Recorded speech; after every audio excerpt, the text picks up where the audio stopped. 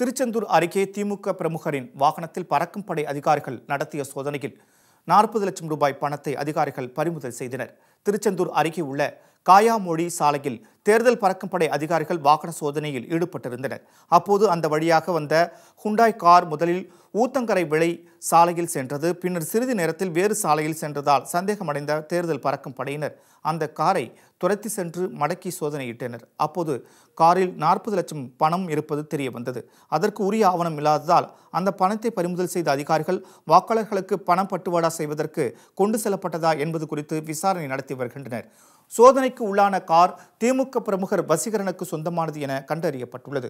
தேர்தல் பிரச் நேரத்தில் நாற்பது லட்சம் ரூபாய் பணம் திமுக பிரமுகரிடம் சிக்கியது பெரும் பரபரப்பை ஏற்படுத்தியது.